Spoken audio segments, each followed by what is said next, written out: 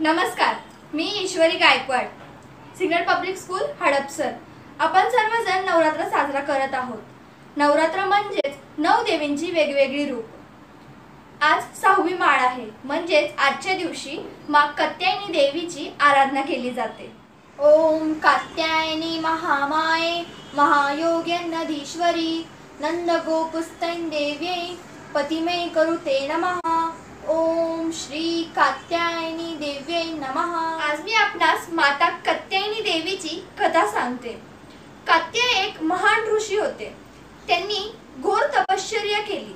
त्यांची अशी इच्छा होती की मा भगवतीने त्यांच्या घरी कन्येच्या रूपात जन्म घ्यावा. मा भगवतीने ती स्वीकारली सुद्धा. दुसरी कथा अशीही सांगितली जाते की ब्रह्मा विष्णू व महेश यांनी तेज देऊन निर्माण केली. त्या देवीचे नाव म्हणजेच कत्यायनी देवी असे सांगितले जाते. याच देवीने महिषासुरासोबत घोर युद्ध केले. ज्या दिवशी माता कत्याय देवीने त्याचा विनाश केला त्या तो दिवस आपण विजयदशमी म्हणून साजरा करतो.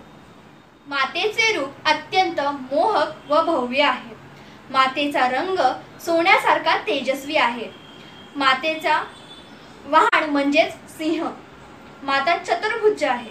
मातेचा पहिला हात अभय मुद्रेमध्ये दुसरा हात वर मुद्रेमध्ये तिसऱ्या हातात तलवार आहे तर चौथ्या हातात कमळ. या मातेचे उपासना केल्यास अर्थ धर्म मोक्ष प्राप्त होते व मनुष्याचे रोग शोक संताप भय नष्ट होते. जीवनात आनंद प्राप्त करणारी माता आपणास जीवनामध्ये आनंद देव.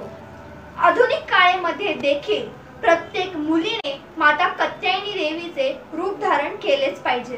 कारण आजही समाजात महिषासूर प्रकृतीचे मनुष्य आहेत. त्यांचा विनाश करण्यासाठी प्रत्येक मुलीने कत्यायनी देवीचे रूप धारण करावेच लागेल. सर्व मंगल मांगल्ये शिवे सर्वाद साधिके शरण्ये त्र्यंबके गौरी नारायणी नमोस्तुते. धन्यवाद.